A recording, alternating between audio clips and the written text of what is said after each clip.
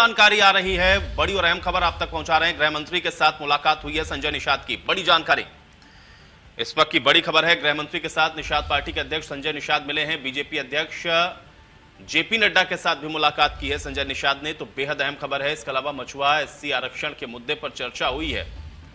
Mission 2022 की रणनीति पर भी चर्चा की गई है। संजय निषाद ने मुलाकात की है गृह मंत्री के आवास पर। यह मुलाकात गृह मंत्री अमित शाह और इसके अलावा बीजेपी के अध्यक्ष जेपी नड्डा के साथ ये मुलाकात हुई है। बेहद अहम और बड़ी खबर आप तक पहुँचा रहे हैं। गृह मंत्री से मुलाकात निषाद पार्टी के अध्यक्ष संजय निषाद ने की है।